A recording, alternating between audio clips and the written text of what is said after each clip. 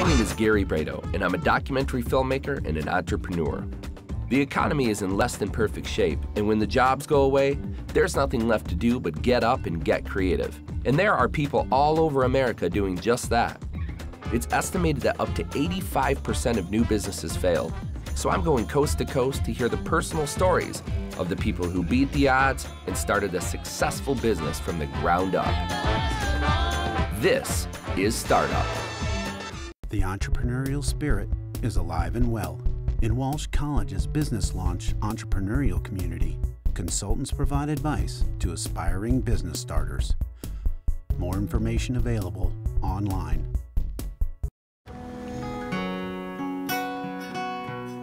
The Chevrolet Volt, an everyday electric car with gas for longer trips.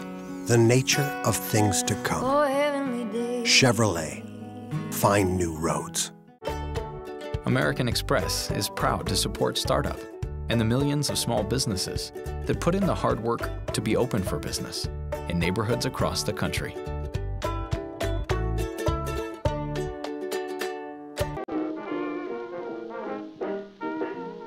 I'm on Russell Street in Detroit's Eastern Market, and this is where it all started for McClure's.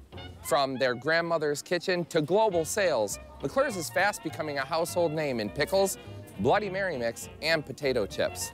Let's go find out how they took this family recipe and turned it into a family business.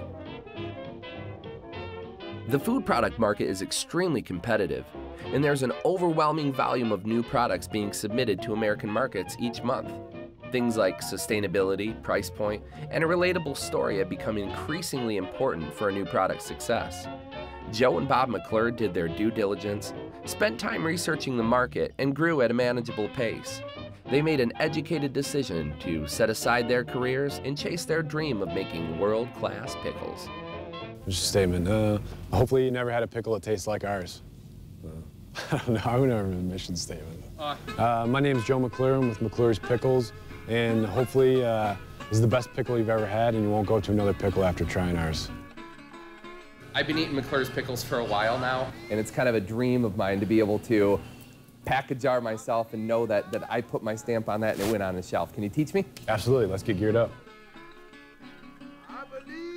So, uh, so we're cleaning jars down at one end, and we're, uh, we're filling them with uh, garlic, dill, and hot peppers. We're doing a spicy batch today. Okay.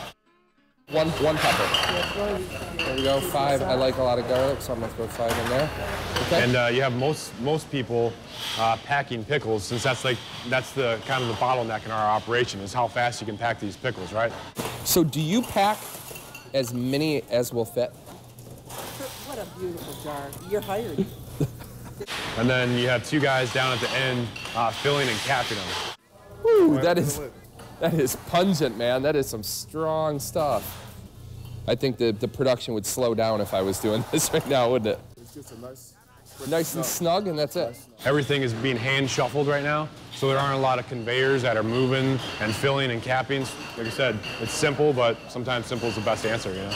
Your first real batch, thinking back at your first batch, how did that come about? Yeah, the first batch, uh, I mean, a lot of it was self-funded. We didn't have a whole lot of funding. To build this place out, we took a $50,000 loan out uh, against my parents' home. Joe had alluded to the fact that you guys refied your house and gave them 50 grand to start. Yes, yes.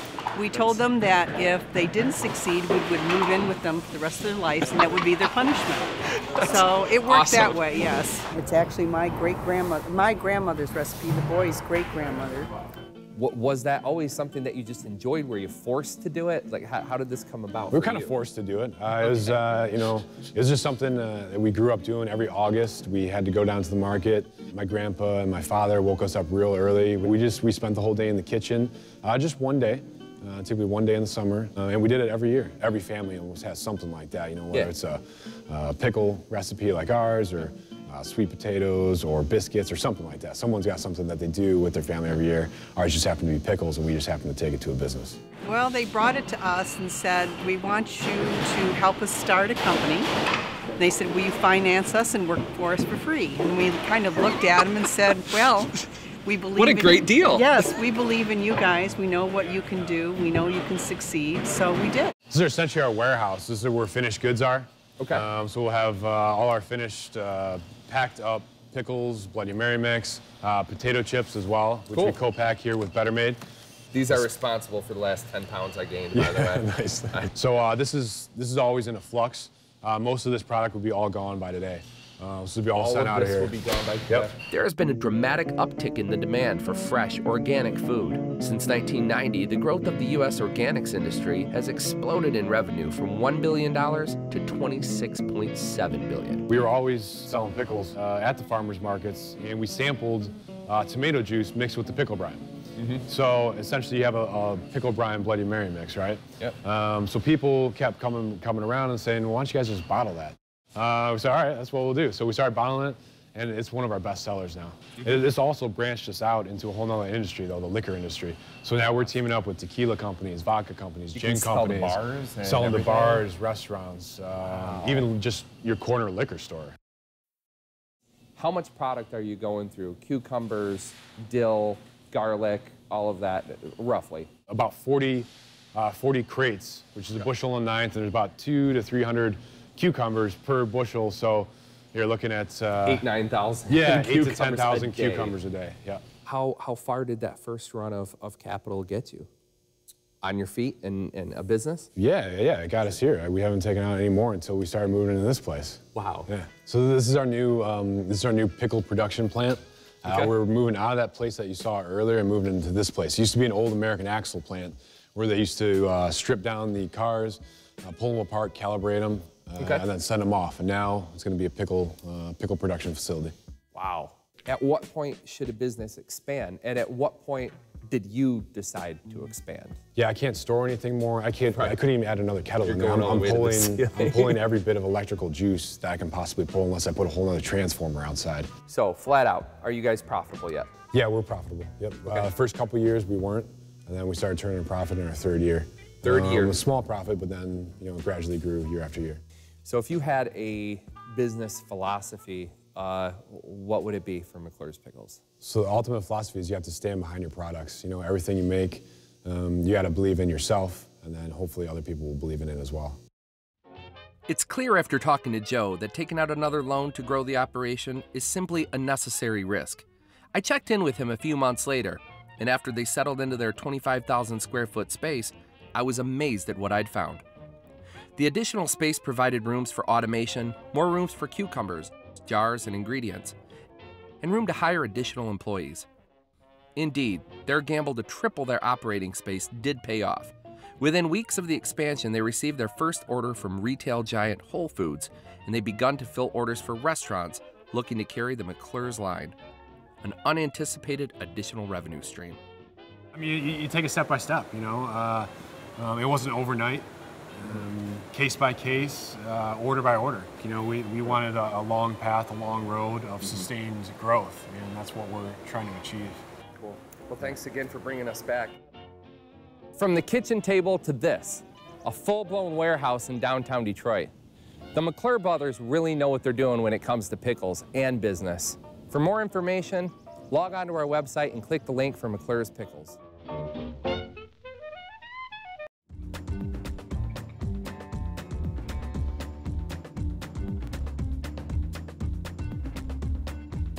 What, what, uh, what do you call organic food? What did they call organic food in 1950? No idea. Food. exactly. exactly.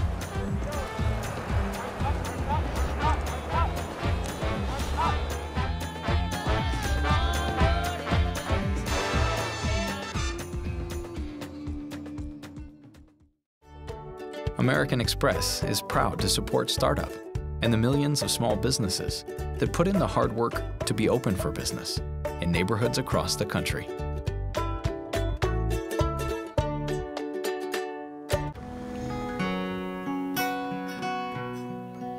The Chevrolet Volt, an everyday electric car with gas for longer trips.